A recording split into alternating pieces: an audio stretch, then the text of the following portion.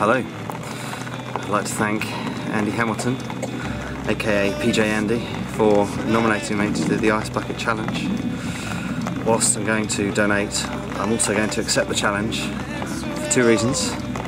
First reason, to raise more awareness for ALS, but also, second reason, is I've got some important nominations to make. I'd like to nominate Susanna Carpenter, my big sister.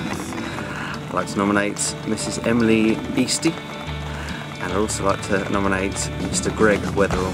You have 24 hours. Good luck.